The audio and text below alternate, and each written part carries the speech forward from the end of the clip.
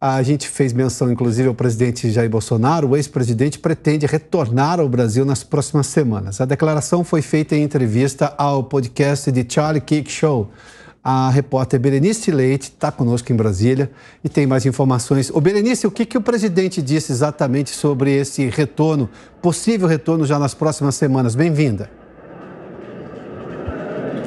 Oi, Piotr, uma boa tarde a você, a todos que nos acompanham. Olha, nesta entrevista a um podcast norte-americano, o ex-presidente Jair Bolsonaro disse que deve retornar ao Brasil nas próximas semanas.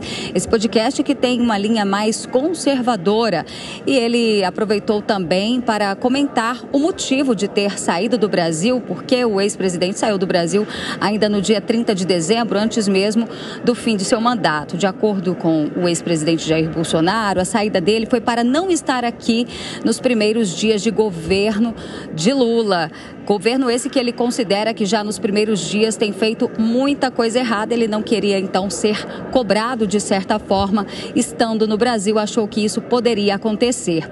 Vamos acompanhar um trecho desta entrevista ao podcast. É, há uma vontade muito grande por parte de muitos brasileiros para que eu retorne o mais rápido possível. Eu pretendo, nas próximas semanas, retornar e fazer uma oposição responsável contra o atual governo. Se bem que em 30 dias já fizeram muita coisa errada. Costumo dizer que o Brasil não precisa de oposição ao governo do PT. Eu tenho que continuar na política, né? É o, aquilo que eu me descobri um pouco tarde, talvez. Mas, por ausência né, de liderança de direita no Brasil, eu me vejo na obrigação de coordenar essas novas lideranças que têm surgido para que o Brasil não mergulhe de vez no socialismo ou no comunismo.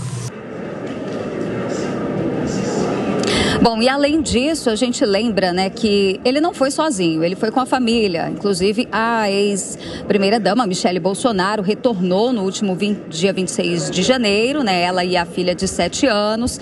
E desde que ela retornou, muito tem se perguntado por que o ex-presidente ainda não retornou ao Brasil. E a gente lembra, inclusive, que ele foi uh, alvo agora, ele está sendo investigado pela Procuradoria-Geral da República, depois dos atos de 8 8 de janeiro, que terminaram na invasão das sedes dos três poderes, Bolsonaro está sendo investigado por uma suposta mentoria intelectual e também por incitação, instigação daqueles manifestantes que estavam aqui no dia 8 e, como eu disse, terminou em atos violentos. Então, de toda forma, já é esperada até mesmo uma convocação do ex-presidente, até para mesmo prestar esclarecimentos com relação agora a esse inquérito que circula, aliás, que está no Supremo Tribunal Tribunal Federal. Pioto.